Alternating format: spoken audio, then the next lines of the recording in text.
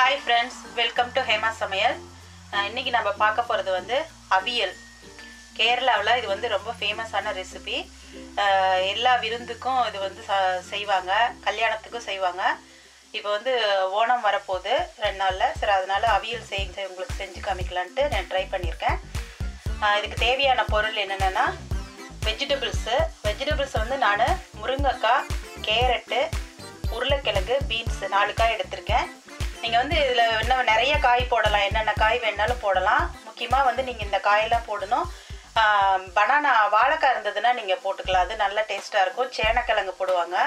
வெள்ளரிக்காய் இந்த மாதிரி பூசணிக்காய் இந்த மாதிரி எந்த காய் இருந்தாலும் கொஞ்சம் கொஞ்சம் எல்லாமே போட்டு செஞ்சால் நல்லாயிருக்கும் நான் இன்னைக்கு இந்த நாலு காய் எடுத்திருக்கேன்.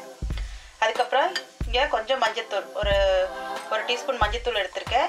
ஜீரகம் வந்து நமக்கு ஒரு ரெண்டு டீஸ்பூன் வே தேவைப்படும். அப்புறம் தேங்காய் தேங்காய் வந்து இதுக்கு நீங்கள் நிறைய போட்ட வரைக்கும் அவியல் நல்லாயிருக்கும் நான் இவ்வளோ தேங்காய் எடுத்து வச்சுருக்கேன். ஒரு ஒரு மூடி தேங்காய் மூணு பச்சை மிளகாய் எடுத்து வச்சுருக்கேன். இதில் ரெண்டு வந்து நான் இந்த கோக்கரட்டோட போட்டு அரைச்சிக்க போகிறேன் ஒன்று காயோட வேக வைக்க போகிறேன் தேவையான அளவு உப்பு அப்புறம் தயிர் தயிர் வந்து ஒரு ஒன்றுலேருந்து ரெண்டு டேபிள் ஸ்பூன். உங்களுக்கு வந்து கடைசியாக நம்ம இதில் புளிப்புக்காக தயிர் மட்டும்தான் சேர்க்க போகிறோம் அதனால் கொஞ்சம் புளிப்பாக இருக்கிற தயிராக எடுத்துக்கோங்க. இப்போ வந்து இது எப்படி செய்கிறதுன்னு பார்க்கலாம். வந்து பேன் வச்சுட்டேன். பேன் காஞ்சதும் நான் வந்து ஒரு டீஸ்பூன் தேங்காய் எண்ணெய் சேர்த்துக்கிறேன். அவியல் வந்து தேங்காய் எண்ணெயில் செஞ்சிங்கன்னா தான் நல்லா டேஸ்ட்டாக இருக்கும். உங்களுக்கு பிடிக்கலன்னா தேங்காய் எண்ணெய் ஸ்மெல் பிடிக்கலன்னா நீங்கள் வேறு எண்ணெயில் கூட செஞ்சுக்கலாம். ஆனால் தேங்காய் எண்ணெயில் தான் செஞ்சால் நல்லாயிருக்கும் இந்த எண்ணெயில் வந்து காயெல்லாம் சேர்த்துக்கலாம்.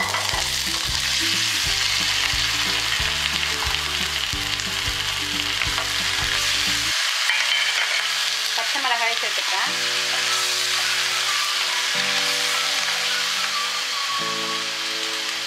மஞ்சத்தூள் போட்டுக்கலாம்.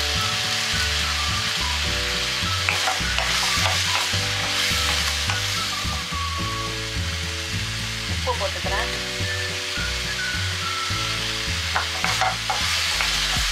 காய் ரொம்ப நேரம் வணக்க வேண்டியதில்லை. சும்மா ஒரு ஒன் மினிட் அந்த எண்ணெயில் கடந்து அப்படியே வதக்குனா போதும். உப்பு மஞ்சத்தூள் போட்டு. இதுக்கு வந்து நான் கொஞ்சமாக தண்ணி தெளித்து வேக வச்சு தண்ணி நிறைய ஊற்றிடாதீங்க ஏன்னா இது வந்து காய் ரொம்ப கொல கொலன்னுலாம் வேகக்கூடாது. கரெக்டாக வெந்திருக்கணும். இல்லைன்னா எல்லாம் குழஞ்சி போச்சுன்னா அவியல் நல்லா இருக்காது. ஸோ கொஞ்சமாக தண்ணி தெளித்து இதை அப்படியே வந்து மூடி வச்சிடலாம்.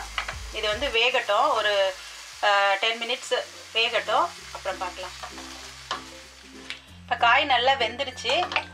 ஓரளவுக்கு தண்ணி எல்லாம் சுண்டிடுச்சு. இப்போ வந்து இதில் நம்ம இந்த தேங்காய் பச்சை மிளகாய் ஜீரகம் இதை வந்து அரைச்சி வச்சுருக்கிறத சேர்த்துக்கலாம். இப்போ இந்த தேங்காய் சேர்த்துனதுக்கப்புறம் நான் கிளறி விடாமல் அப்படியே காய் மேலே நல்லா வச்சு இந்த மாதிரி அமைக்கி விட்டுட்டு ஒரு டூ மினிட்ஸ் மூடி வச்சுடுங்க. அதுக்கப்புறமா நம்ம கிளறி விட்டுக்கலாம்.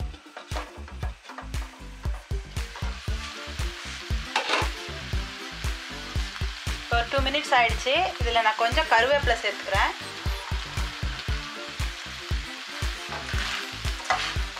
இப்போ வந்து நல்லா கிளறி விட்டுக்கோங்க. பொறுமையாக கிளறணும். காயெல்லாம் உடையாமல் உப்பு பார்த்துட்டு உப்பு சரியாக இருக்கேன்னு இந்த டைமில் சேர்த்துக்கோங்க. அடுத்து வந்து தயிர் சேர்த்துக்கலாம்.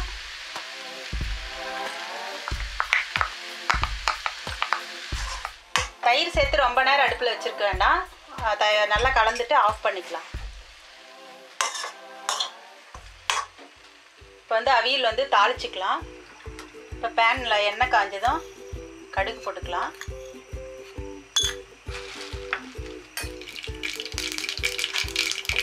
கடுகு பொழிஞ்சது கருவேப்பிலை சேர்த்துக்கிறேன்.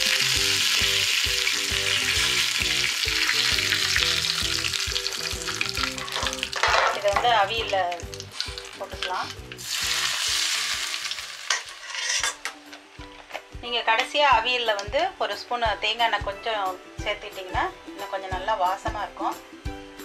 ஸோ நம்மளோட டேஸ்டியான அவியல் ரெடி ஆகிடுச்சு நீங்களும் இதை ட்ரை பண்ணி பாருங்கள் ரெசிபி பிடிச்சிருந்ததுன்னா வீடியோ லைக் பண்ணுங்கள் ஏதாவது கமெண்ட்ஸ் இருந்தால் கமெண்ட் பாக்ஸில் சென்ட் பண்ணுங்கள் என்னோட சேனலையும் சப்ஸ்கிரைப் பண்ணுங்கள் தேங்க்யூ